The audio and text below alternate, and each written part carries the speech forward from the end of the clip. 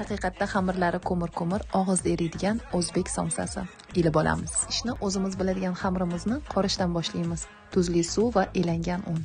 Hammasini aralashtirib yumshoqdan sal qattiqroq bo'lgan xamirni qoramiz.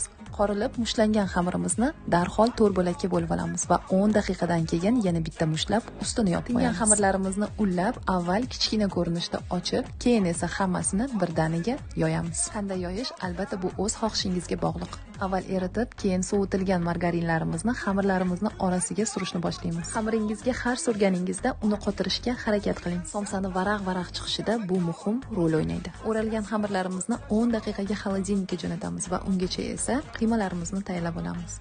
Go'sht yoz mayda to'ralgan kartoshka va ziravorlar. Tingan xamirlarimizni mayda bo'laklarga bo'lib olamiz. O'qlovsiz videoda ko'rsatilgandek mana shunday qilib xamirlarimizni ichini ochib tashqari tomonga chiqaramiz. Ichini qiymaga to'ldirib uchburchak shaklda tugib olamiz. Somsa varag'i bir biriga yopishib qolmasligi uchun tuxum emas suv surtamiz. Suv hisobiga ko'mir ko'mir ham chiqadi. Oldindan qizdirilgan otashimizga 35-40 daqiqaga jo'natamiz. Bu somsa hayotingiz davomida tayyorlagan eng mazali va eng go'zal somsaga aylanadi.